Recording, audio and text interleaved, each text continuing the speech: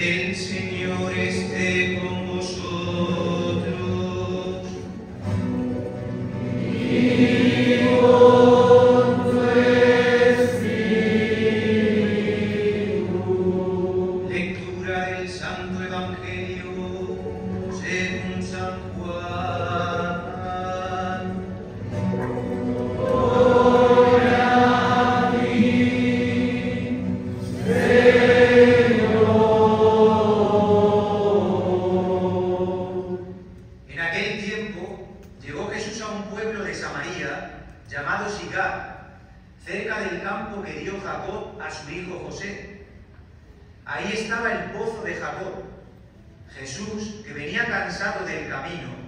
Se sentó sin más en el brocal del pozo.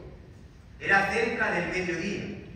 Entonces llegó una mujer de Samaria a sacar agua y Jesús le dijo, dame de beber. Sus discípulos habían ido al pueblo a comprar comida. La samaritana le contestó, ¿cómo es que tú siendo judío me pides de beber a mí que soy samaritana? Porque los judíos no tratan a los samaritanos. Jesús les dijo, si conocieras el don de Dios y quién es el que te pide de beber, tú le pedirías a él y él te daría agua viva.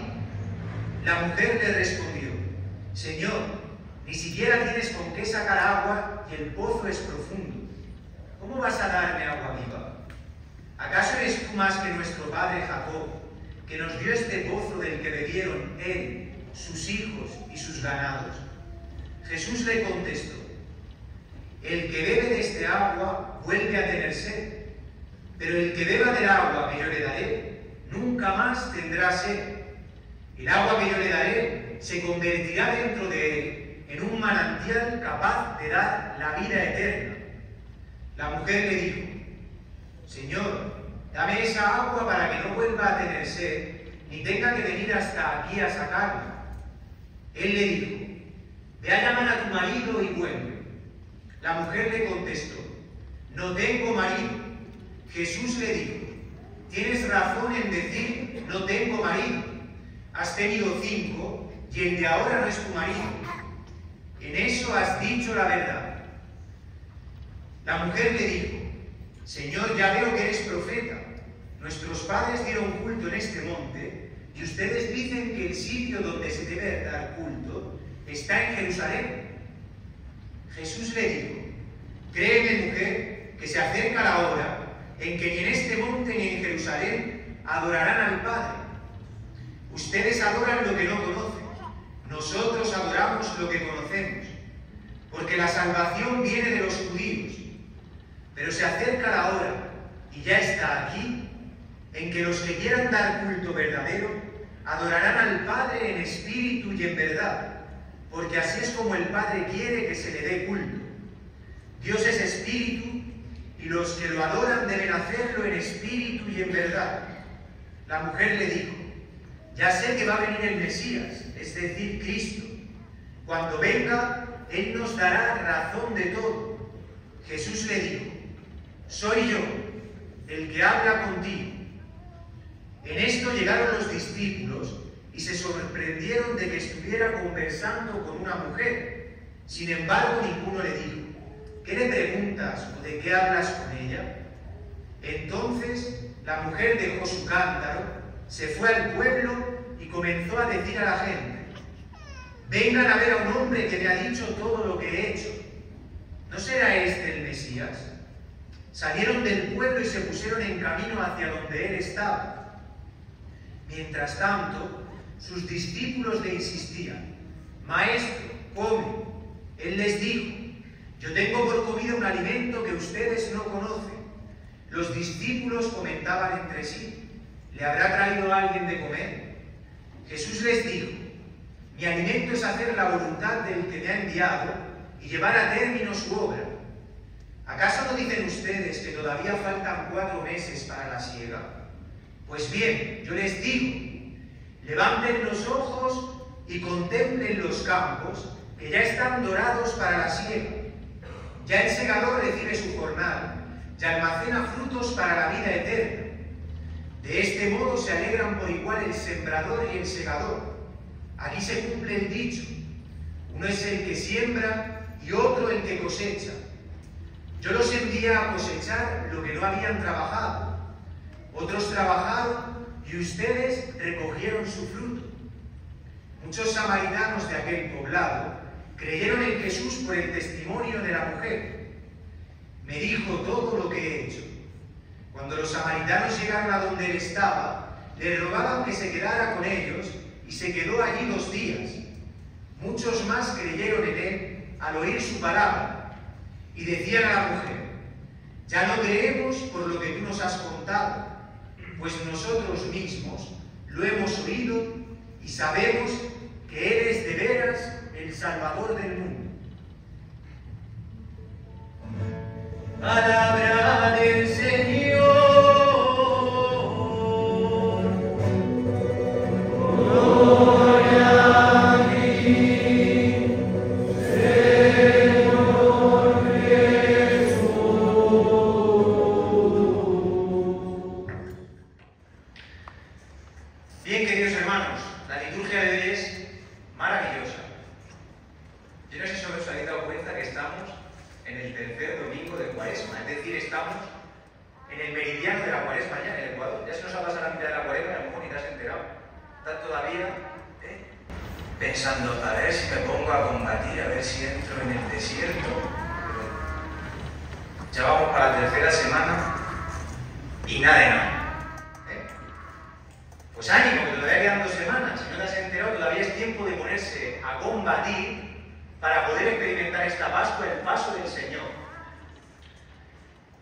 Yo quería empezar con lo que terminaba la primera lectura, que me parece impresionante esa frase, ¿no?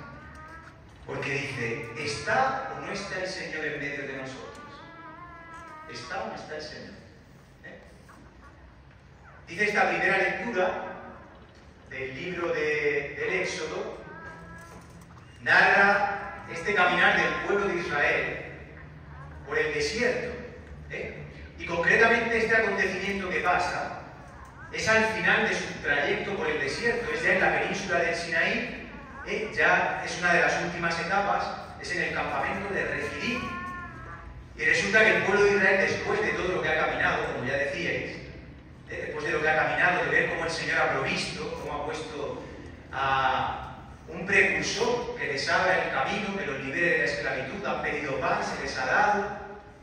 Todo lo que han ido pidiendo, el Señor ha ido proveyendo con holgura. Y sin embargo, todavía al pie del Sinaí, donde se le va a dar esta ley, este decálogo, estas palabras de vida, todavía dudan. Dicen, pero ¿qué hace este Moisés que nos ha sacado de allí para matarnos? ¿Eh? Y dudan, y tienen sed, y Moisés está ya hasta la coronilla del pueblo. ¿eh? Y ya le dice al Señor, pero ¿qué hago con este pueblo, Señor? Este pueblo, después de todo lo que han visto y todavía así. Y dice que el Señor lo manda con los ancianos de Israel por delante y le dice que tome el callado con el que ha abierto el mar rojo y que golpee esta roca. Y dice que de la roca brota el agua, por eso ese lugar se llama Masá y Meribá, ¿eh? donde el pueblo de Israel desoyó la voz de Dios y endureció su corazón. Por eso todos los días, en el Salmo 94 de la Iglesia, nos recuerda este acontecimiento. Si hoy escucháis su voz, no endurezcáis el corazón. Pues el Señor permite y hace que el agua brote, y esto le costará a Moisés entrar en la tierra prometida. Fijaros lo profundo de esto. Pero no creéis que es por lo de que el pueblo pide agua, es porque él ha juzgado al pueblo. Porque dice, pero con este pueblo, a lo mejor te pasa a ti eso en la comunidad, juzgas a tus hermanos, dice, pero con la bola de- de- de- de zoológico que hay en mi comunidad, ¿eh? ¿de verdad que el Señor va a obrar, va a hacer algo? ¿Eh? Con la cantidad de hipócritas que hay, de falsos, de murmuradores. ¿Os suena esto, no? Lo que estoy diciendo. Tú eres el santo de la comunidad, los que se tienen que convertir son el resto. Tú tienes la verdad en el ADN. ¿eh? Da Jesucristo luego tú, o tú antes que Jesucristo, no lo sé. Pues hermanos, esto le costará a Moisés llegar al monte Nebo, atisbar la tierra prometida, pero no poder entrar en ella. Se queda a la puerta de la promesa y será Josué quien introduzca al pueblo de Israel en la tierra prometida. Pues hermanos, el Evangelio de hoy es una cosa de verdad apoteósica, es fantástico. en el tiempo de la cuaresma, en todos los domingos de la cuaresma, la catequesis de los evangelios, todos los domingos son catequesis bautismales. Esta catequesis primitiva de la iglesia es una cosa profunda que viene a reavivar en nosotros el bautismo. Hoy el Señor sale de caza, como caballero que es. A mí me sorprende que los novios hoy están atontados, están pendejos, con perdón. Los novios, sí. Y las novias más todavía. Digo, son tan tontas que se van con el primero que le dice ojos bonitos tienes. No hagas eso.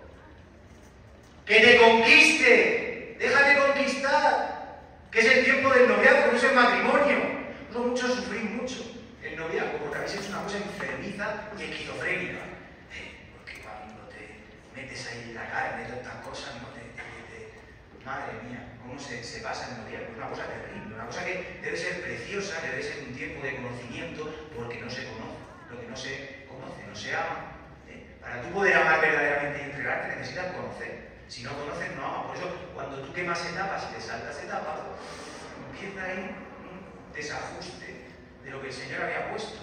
Pues bien, hoy el Señor dice San Efrén, esto lo dice San Efrén, en un, en libro que se llama El de Sarón, que habla de los cuatro evangelios, haciendo una concordancia entre todos los evangelios, y él dice que el Señor sale a cazar. Y a mí me encanta porque lo hace con una con una mano derecha. El Señor tiene un estilo para hacer las cosas. Dice que los discípulos se fueron a comprar comida. Yo creo que lo mandó el Señor, le dijo, venga, ido al Walmart a comprar algo que tengo hambre. Jesucristo venía de Judea. ¿Qué había pasado en Judea? En Judea había pasado algo. Que ya el Señor estaba agarrando más fama que Juan el Bautista. ¿Eh? Porque Juan el Bautista era el que había bautizado y tenía la fama y dice, ¿quién es este? Que bautiza más que Juan el Bautista. Estaba para hablarlo así en términos que nos entendamos, tenía más de 100 suscriptores en YouTube. Le, daba el like todos los días, cada vez que colgaba algo. Pero el Señor no quiere eso. El Señor huye de todo eso, huye de toda fama aquí en la tierra, huye de todas estas cosas.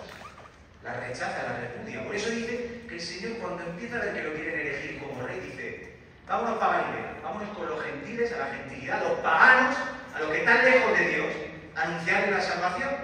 Pero resulta que para poder entrar en Galilea había que pasar por esta ciudad conflictiva, que era Samaria. Samaria eran acérrimos enemigos del pueblo judío. Estaban en una batalla. Unos adoraban, los samaritanos, en el monte Garizim, el pueblo judío en el monte de Jerusalén, donde estaba el templo. Tenían vicisitudes de tal manera que cada vez que los judíos que vivían fuera de Jerusalén tenían que peregrinar y atravesaban por Samaria era un infierno, se hacían la vida imposible. O sea, hay que evangelio hay que entender lo que está diciendo. Pues Jesucristo, en este camino a Galilea, para en Samaria. Fíjate tú qué cosa. No tiene otro sitio donde parar. Para en Samaria. En la ciudad de Sicar. En griego Sebaste. Esta tierra que es interesante. Porque el Señor se detiene ahí y justo, justo, se detiene en el pozo de Jacob. El pozo en la Escritura siempre es signo de idilio amoroso. ¿eh? En los pozos, en el Antiguo Testamento, han ocurrido todas las relaciones amorosas, ¿no? Por ejemplo, Isaac con Rebeca, Jacob con Raquel, Moisés con Séfora, todos estos acontecimientos de amor. El Señor por algo se ha parado en este pozo, porque sabe que ahí va a haber un flechazo, va a haber un encuentro de amor. ¿eh?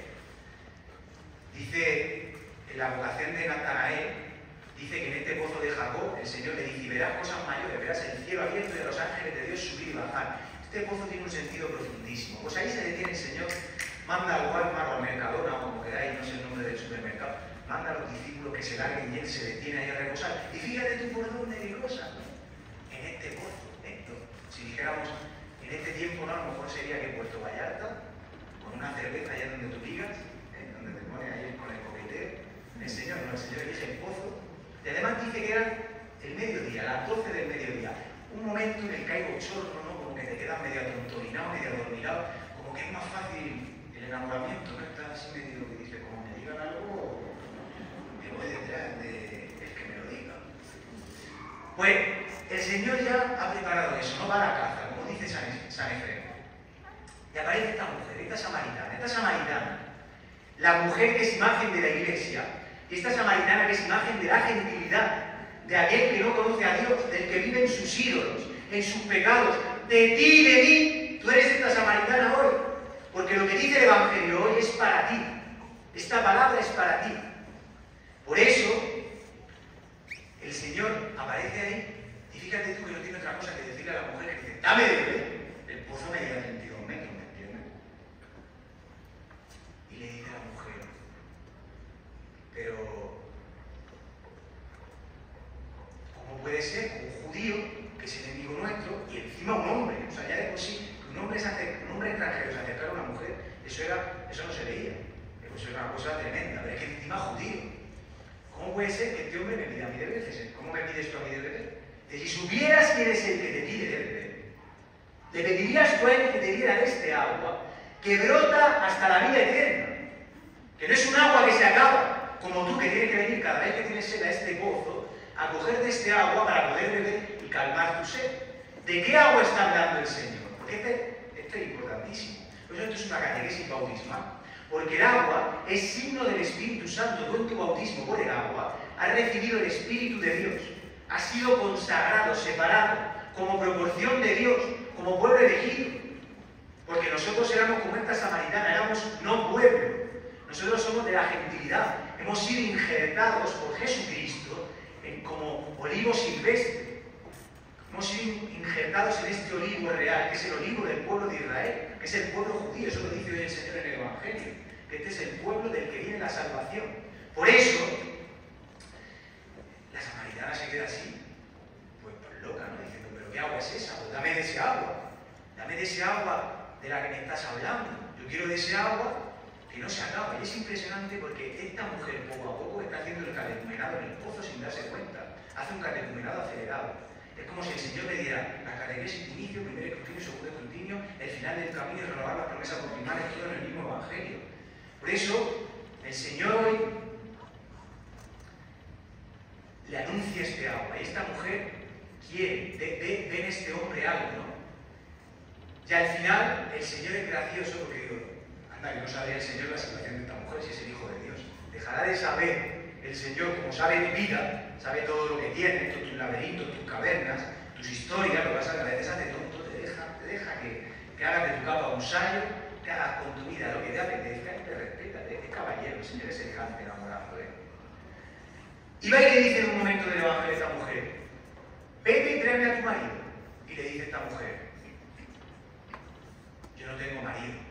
Y dice, has dicho bien, eso has dicho la verdad, porque este es tu quinto marido y no lo es. Esto hay que entenderlo, porque la escritura, este evangelio, el pueblo, ¿cómo se ha formado el pueblo de Samaria? El pueblo de Samaria eran pueblos paganos que vivían entre los judíos.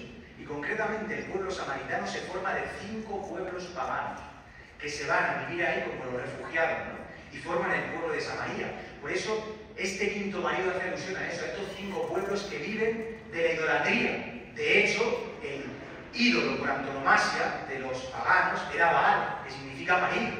Por eso el Señor en el fondo está diciendo, sé quién eres, sé tu historia, sé tu historial, sé tu pecado, sé tu mentira, sé tu doblez, lo sé todo. Y no te juzgo, te amo, te traigo a este pozo a decirte que te amo.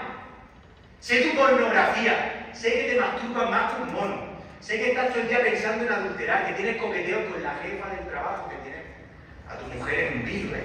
Te gustan un poco las tías, ¿eh? madre mía, qué menudo conflictos sexuales tienes tú. En tensión, sales a la calle y te metes en una tensión existencial como aparezca una comunidad. El otro día venía a una oficina y dije, Menos mal que tengo a la lupita de la cocinera, que sale a defenderme, si ya son así con mi pecho así. ¿Qué pasa? ¿Qué pasa aquí? No pasa nada, tranquila, estamos aquí confesando. Me dio que me puse un poco nervioso y tal, y se fue, la niña se fue, y dije, ya no vuelva porque que entra un poco de nervio. No te veo con esa falda. El Señor lo sabe todo. No tiene asco de ti. Te has robado, has un sinvergüenza un canalla, un enemigo acérrimo de la cruz de Jesucristo. Y es el Señor hoy el que pone este escenario idílico para decirte que te ama. Por eso le dice, pues claro que no es tu marido. ¿De qué tiene sed el Señor? ¿Por qué le dice dame de beber? El Señor tiene sed de ti, porque la voluntad de Dios, dice San Juan, es que todo hombre se salve. No quiere que te pierdas. Deja las 99 ovejas y va por la perdida. Y hace lo que tenga que hacer. Monta un pifostio para que te salves. Peregrinaciones, todos los líos, ha separado a catequista, ha puesto gente en tu vida, te ha puesto, yo qué sé lo que te ha puesto, a dónde te ha mandado, a Japón, a México, a Bielorrusia, no sé dónde te mandará a ti, a lo mejor en tu barrio, no sabes que en toda tu vida, aquí en San Miguel, el Señor hace unos líos para que tú te salves. Pero al final es el Señor el que sale a la caza, sale a hacerse el encontradizo. Y por eso, el Señor quiere que tú le des de beber, sintiéndote amado por Él, dejándote amar gratuitamente, porque este Espíritu Santo que hemos recibido en el bautismo, este Espíritu de Dios, te sella la vida eterna, te da la certeza y la capacidad de amar, pero de amar en una dimensión distinta que el mundo no conoce, que es la dimensión de la cruz. El Señor te regala el amor al enemigo, un amor que el mundo no conoce. Por eso, hermanos, el otro día, hace unos días atrás, estamos eh, eh, el día este de las mujeres, ¿no? Salen allá a la glorieta de la Minerva, destrozan todo lo que pasa a su paso, este neocomunismo disfrazado de feminismo, que al final es lo mismo de siempre, da igual la etiqueta que le pongas. Al final es el odio que inocula el demonio, el enemigo, porque quiere dividir, quiere separar. Por eso, ¿cómo esta gente se encontrará con el amor de Dios? Cuando tú les des de beber, porque el Señor ha prometido que si tú bebes de este agua, de ti brotarán manantiales que saltan a la vida eterna. Por eso, ¿cuántos te piden a ti que les des de beber? A tu lado, tu marido, tu mujer, tus hijos te están diciendo, dame de beber. Y tú no, le sacas la ley. Cuando tu marido no es como tú quieres, le echas la ley. Y en el fondo te está diciendo, pobre, dame de beber, no puedo más, estoy que me pierdo. Puedo con mi vida. ¿Cuántas veces no se lo ha dicho al Señor? No puedo más con mis pecados. Estoy reventado. Quiero pegarme un tiro, ya estoy harto de vivir. No encuentro sentido a nada. ¡Qué asco de vida! El Señor te da de beber, como decía, de su palabra. Este agua es la palabra de Dios que engendra en ti estos manantiales que saltan a la vida eterna. Eso, hermanos, importantísimo. ¿Cómo, cómo esta mujer pasa de decirle, judío, a decirle, este es profeta, tú eres el profeta. Y enseguida se dará cuenta de que es el Cristo, que es el Mesías que tanto espera a su pueblo, el que viene a salvar. Por eso, vuelven los discípulos y la mujer se larga ipso facto corriendo y se le olvida hasta el cántaro que llevaba, que dice el Evangelio. Igual que al ciego se le olvidó el manto, igual que a los discípulos cuando han tenido el encuentro con Jesucristo, a orillas del mar de Galilea se han dejado las redes. Porque cuando el Señor aparece, cuando este amor aparece en tu vida, digas un pedalazo que cortas con todo. Es un cambio de dirección, un cambio de rumbo. Esto no es una decisión ética, ni es una decisión de reflexiología ni racional. Es el encuentro con el amor que te cambia. Y cambia. Y el que estaba en el pecado resucita. Y el que fornicaba deja de fornicar. Y el que estaba en la mentira vive en la verdad.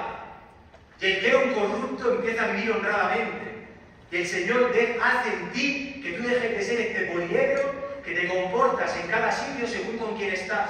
En casa uno, con mi marido otro, con mis hijos otro, en el trabajo soy otro. Señor quiere que tú tengas este agua que salta a la vida eterna. Por eso esta mujer deja el cántaro y sale corriendo, corriendo, a anunciarle a su pueblo. Me he encontrado con el Mesías, tenéis que conocerlo. Me ha dicho lo que he hecho. ¿Por qué eso es tan importante? Me ha dicho lo que he hecho. Porque la conoce, la ha conocido. Y el Señor se ha dejado conocer diciéndole, yo soy. Se ha revelado como la Santísima Trinidad en este Evangelio esta mujer. Le ha abierto el panorama. Dios se deja de conocer de quien lo busca. Pues esta mujer se ha ido alegre, se ha ido transformada. ¿eh? Amado con amada, esposo con esposa, se ha encontrado. Pero el Señor no ha tenido asco del pueblo pagano, de lo que han vivido de los ídolos, como tú y como yo, que así nos ha encontrado el Señor tantas veces y nos sigue encontrando, viviendo en la idolatría. Pero el Señor quiere purificar esto, por eso el Señor le dirá, llega el momento en el que ya no se va a adorar más ni en Galicín ni en el monte de Jerusalén. Llegan los verdaderos adoradores que adorarán en espíritu y en verdad, Por eso a partir de ahora no será que vienes a misa, pones la, la carita esa de cordero degollado que pone ahí con los ojos en blanco, haciéndote el buenecito y luego sales de aquí echando pestes por la boca. Basta que te toquen un poquito para que pierdas todo. Podrás ser cristiano 24-7, teniendo este manantial del que brota la vida eterna. Y quien se acerca a ti, toca la vida eterna. Por eso cuando hay un cristiano da gusto estar con él, no quieres separarte de él. Y dice, yo no sé lo que tiene de ti esta tía, pero yo lo quiero para mi vida. Qué gusto me da escucharlo. Lo veo y me alegra. No sé qué es. Y es este agua que salta la vida eterna. Pues esto es lo que quiere hacer el Señor contigo y conmigo. Hoy tú eres la samaritana. Y el Señor viene a decirte que te ama, que no se escandaliza de tu pecado, que no te juzga, que da igual lo que hayas hecho, que este amor es para todos, que el Señor te convierte en su pueblo, en el pueblo de su heredad. Por eso todos los del pueblo, cuando llegan, le dirán a Jesucristo, hemos escuchado lo que ha dicho esta mujer de ti y hemos creído en ti, pero luego le dice a la mujer, ya no creemos por el testimonio que tú has dado, sino que nuestros ojos y nuestros oídos lo han visto y somos testigos de que de verdad este es el Mesías, el Mesías que se había anunciado. Por eso esa María tiene un privilegio que es de los primeros lugares evangelizados por Jesucristo. Y después vendrán, después de Jesucristo vendrá Felipe el diácono, vendrá Pedro y vendrá Juan y recogerán los frutos que Jesucristo ha sembrado. Por eso se cumple todo lo que dice esto que decía de la mies del Evangelio. Unos cosechan, otros recogen, pero la obra es de Dios. Tú y yo estamos de paso, somos instrumentos de la gracia. Estamos llamados a ser estos manantiales como los manantiales que salían del templo de Jerusalén, que llevaban la sangre de los sacrificios. Ahora el sacrificio de Cristo, tú estás llamado a ser este agua que haga llevar esa sangre de Cristo a los demás. Porque tu vida vale el precio de la sangre de Cristo. Pues hermanos, esta es la buena noticia en medio de la cuaresma. En medio de este desierto cuaresmal el Señor te dice, te amo, te quiero, y te seduce con una belleza impresionante. Pues hermano, deja de amar hoy por Cristo. Deja el Señor te devuelva el sentido a tu vida y te haga de verdad anhelar su paso por tu vida en esta Pascua. Que. Así sea.